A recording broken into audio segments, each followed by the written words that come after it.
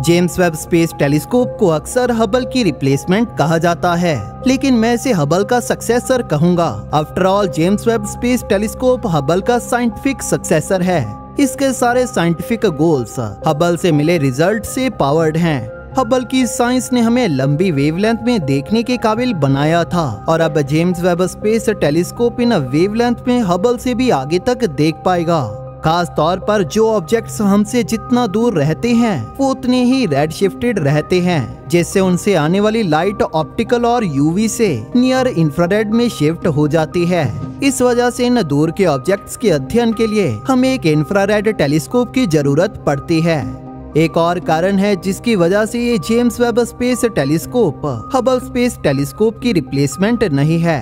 जो है इनकी कैपेबिलिटीज बेहद अलग अलग हैं। जेम्स वेब स्पेस टेलीस्कोप जहाँ हमारे ब्रह्मांड को मुख्यतः इंफ्रारेड में ही देखेगा वहीं हबल ने इसकी ऑब्जर्वेशंस ऑप्टिकल और यूवी में की हैं। हालाँकि हबल के पास भी इंफ्रारेड कैपेबिलिटीज हैं, लेकिन जेम्स वेब स्पेस टेलीस्कोप के जितनी बेहतरीन नहीं इसका मतलब कि ये दोनों टेलीस्कोप ब्रह्मांड को बहुत अलग अलग तरह से देखेंगे क्योंकि ये लाइट की वेवलेंथ के अलग अलग हिस्से को देख सकने के काबिल हैं।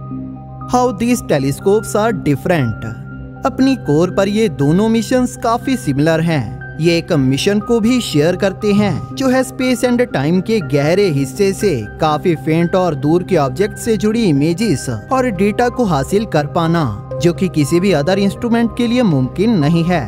James Webb space telescope physical और टेक्नोलॉजिकली हबल से काफ़ी डिफरेंट है और ये हबल से काफ़ी डिफरेंट कंडीशंस में काम करेगा।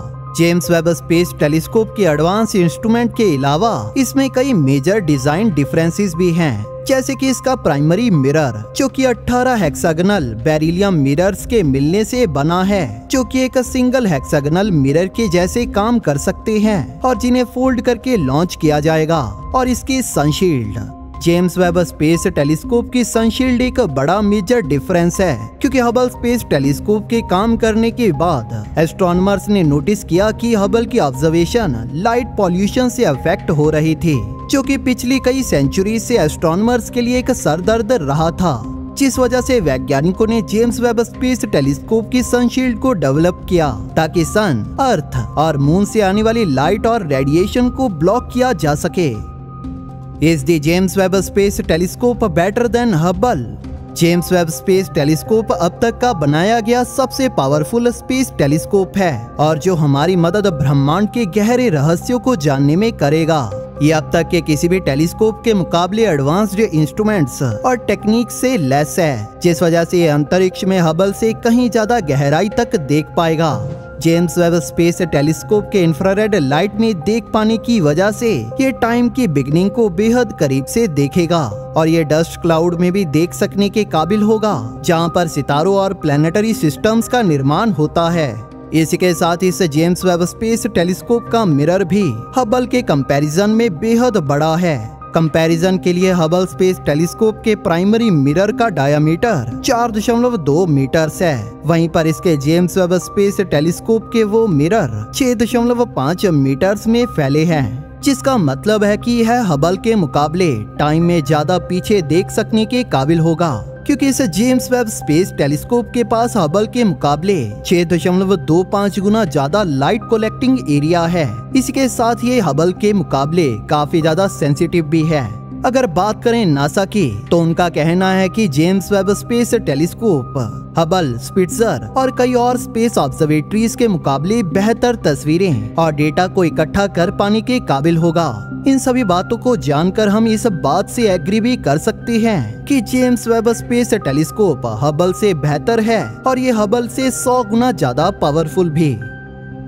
What is the distance between the telescopes and the earth space based telescopes के पास ग्राउंड बेस्ड ऑब्जर्वेटरीज के मुकाबले काफ़ी एडवांटेजेस रहती हैं। एटमॉस्फेयर के ऊपर रहने की वजह से उन्हें पृथ्वी की एटमॉस्फेरिक इंटरफेरेंस के साथ डील नहीं करना पड़ता लेकिन स्पेस में होने की वजह से इनमें आई छोटी से छोटी प्रॉब्लम को ठीक करना काफ़ी मुश्किल हो जाता है हबल स्पेस टेलीस्कोप अपने मिरर में आई एक छोटी सी प्रॉब्लम के लिए काफ़ी फ़ेमस है, जिसे फिक्स करने के लिए एक मिशन को लॉन्च किया गया था, जिसमें एस्ट्रोनॉट्स ने जाकर इसके मिरर में आए उस एरर को फिक्स किया था। इसके नियर अर्थ ऑर्बिट होने की वजह से जो पृथ्वी की सतह से 570 किलोमीटर ऊपर है एस्ट्रोनॉट्स इस हबल स्पेस टेलीस्कोप को फिक्स कर पाने में सक्षम रहे थे। लेकिन जेम्स वेब स्पेस टेलीस्कोप के केस में ऐसा नहीं होगा, क्योंकि ये एक्यूरेटली अर्थ को ऑर्बिट नहीं करेगा, बल्कि ये earth sun L two Lagrange point पर रहकर अपनी ऑब्जर्वेशन का काम करेगा।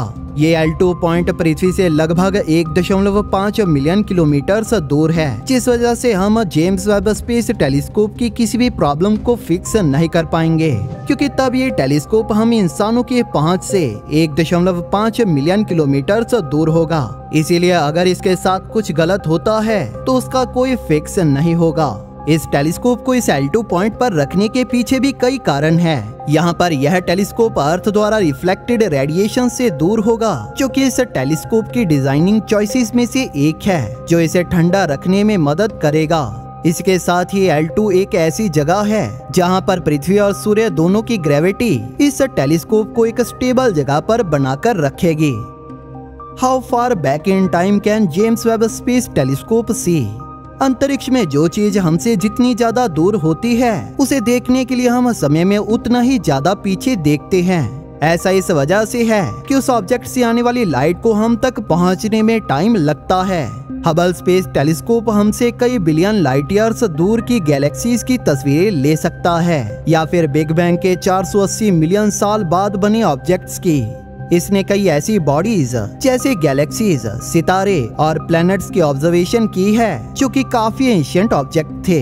लेकिन ये सभी ऑब्जेक्ट एक ऐसी लिमिट पर मौजूद थे, जिसके आगे इन बॉडी से जुड़े सभी सवालों के जवाब हैं। इस लिमिट पर जाकर हबल स्पेस टेलीस्कोप अपनी लिमिटेशन के करीब पहुँच जाता है, जिसके आगे वो कुछ भी देख नहीं पाता। वहीं जेम्स वेब स्पेस टेलीस्कोप अपने बड़े मिरर के साथ ब्रह्मांड के बिगनिंग को बेहद करीब से देख पाएगा। आज से लगभग तेरह दशमलव सात बिलियन साल पीछे तक। अपनी इंफ्रारेड कैपेबिलिटीज की वजह से जेम्स वेब स्पेस टेलीस्कोप ब्रह्मांड की कुछ सबसे दूर की गैलेक्सीज को हबल की विजिबल या अल्ट्रा वायलेट लाइट के मुकाबले आसानी से अपनी इंफ्रारेड लाइट में देख पाएगा, क्योंकि ब्रह्मांड की एक्सपेंशन की वजह से इन डिस्टेंट ऑब्जेक्ट से आने वाली लाइट स्ट्रेच हो जाती है। एक इफ़ेक्ट जिसे हम रेड शिफ्ट कहते हैं, जो लाइट को विजिबल वेवलेंथ से इंफ्रारेड में पुश कर देता है। Can James Webb space telescope see exoplanets James Webb space telescope दुनिया की सबसे प्रीमियर स्पेस ऑब्जर्वेटरी है, जो कि पहली गैलेक्सी सितारों, ग्रहों और चंद्रमाओं को ब्रह्मांड में खोजने के काबिल होगा। ये टेलीस्कोप दूसरे सितारों का चक्कर लगाते ग्रहों की कंपोजिशन को स्टडी करेगा और सौर मंडल के परे जीवन के साइंस को खोजेगा। ये James Webb space telescope exoplanets को ऑब्ज़र्व करके उनके नेचर से जुड़ा बहुत कुछ जान पाएगा। ये एक्सोप्लैनेट के एटमॉस्फेयर को हाई रेजोल्यूशन के साथ देख पाएगा और इसका इंफ्रारेड विजन हमारी मदद इनकी कंपोजिशन का पता लगाने में करेगा। जेम्स वेब स्पेस टेलीस्कोप ऐसी एडवांस्ड टेक्नोलॉजी से लेस है, जो इसे एक्सोप्लैनेट के एटमॉस्फेयर के बादल और अदर इंटरफेरेंस के बीच से भी देखने में मदद करेगी। ये सितारों के हैबिटेबल जोन में मौजूद ग्रहों को स्टडी करने वाला हमारा सबसे पावरफुल टूल होगा। Cost of Hubble versus cost of James Webb Hubble space telescope की इसके लॉन्च के वक्त कीमत चार दशमलव सात बिलियन डॉलर थी। अगर हम इसमें उन्नीस सौ तिरानवे में हबल के रिपेयर मिशन की कीमत को भी डालें तो हबल की कुल कीमत पाँच दशमलव आठ बिलियन डॉलर्स पड़ी थी। लेकिन जेम्स वेब स्पेस टेलीस्कोप की इसकी लॉन्च तक की कुल कीमत लगभग 10 बिलियन डॉलर्स के करीब है। ये दोनों टेलीस्कोप ही अपनी अपनी जगह पर काफ़ी कॉस्टली भी हैं, लेकिन इनकी कीमत इनसे मिलने वाले डेटा के आगे कुछ भी नहीं है। लॉन्च हमारे इस वीडियो के अपलोड होने से पहले ही ये टेलीस्कोप सक्सेसफुली लॉन्च हो चुका होगा। अगर आपने इसकी सक्सेसफुल लॉन्च को देखा है तो हमें कमेंट सेक्शन में बताइए कि वो कैसी रही और आपका इस मिशन के बारे में क्या कहना है। दोस्तों, अगर आपको ये वीडियो पसंद आई तो इसे लाइक और शेयर ज़रूर करें और इसी तरह की और वीडियोस देखने के लिए हमारे चैनल को सब्सक्राइब कर लें। बेल नोटिफिकेशन ऑन करना ना भूलें, ताकि नई वीडियोस की नोटिफिकेशन आपको अपलोड होते ही मिल जाए। थैंक यू फॉर वॉचिंग दोस्तों इस वीडियो को अंत तक देखने के लिए आप सभी का धन्यवाद।